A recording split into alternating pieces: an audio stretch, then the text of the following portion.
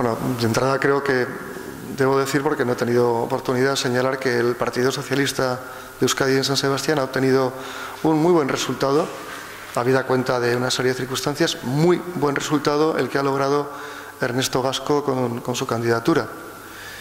En primer lugar. En segundo lugar, que visto lo que ha acontecido en los últimos cuatro años e incluso en épocas anteriores, conmigo como, como alcalde, es muy, muy necesario, yo diría que imprescindible además en los tiempos que corren, que haya gobiernos de mayoría absoluta, que, que sean gobiernos de pacto, que no creo que sea muy complicado, seguro que no, llegar a un programa común entre el Partido Nacionalista Vasco y el PSE, que permitan abordar con garantías, eh, con estabilidad, con cuatro años por delante, eh, los problemas que, tiene la ciudad de San Sebastián, que tenía ya de antes y que ahora también pues, se, han, se han incrementado con esos cuatro años de gobierno de Bildu, que creo que han sido cuatro años un poco, un poco perdidos en muchos campos. ¿no?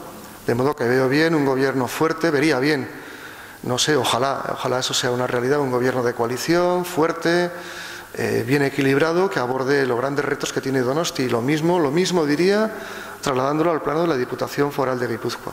Lo mismo. Un buen resultado de, del Partido Socialista de Euskadi con Denis Ichaso.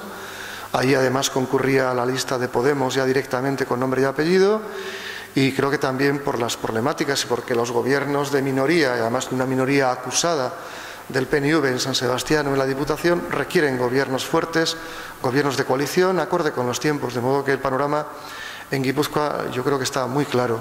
Ya fuera de aquí, vete tú a saber, ¿no? Pero sí, sí.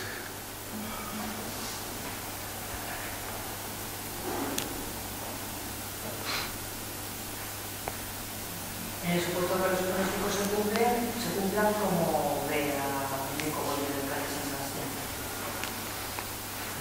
Yo creo que la ciudad, digamos que, bueno, la ciudad, perdón, que una buena parte de la ciudad pues ha, ha respirado y ha visto con, con ilusión eh, el resultado de las últimas elecciones municipales, ¿no? Tanto lo que hace al cambio de, alcaldía, esto es a, la derrota de, Bildu, como a la posición preponderante que ha adquirido el Partido Socialista ¿no? en este momento en la corporación.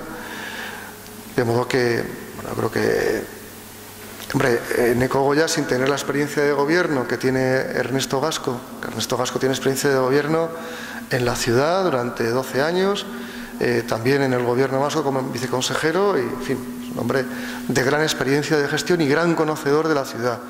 Eh, entiendo que era el candidato que más conocía la ciudad de San Sebastián y su problemática.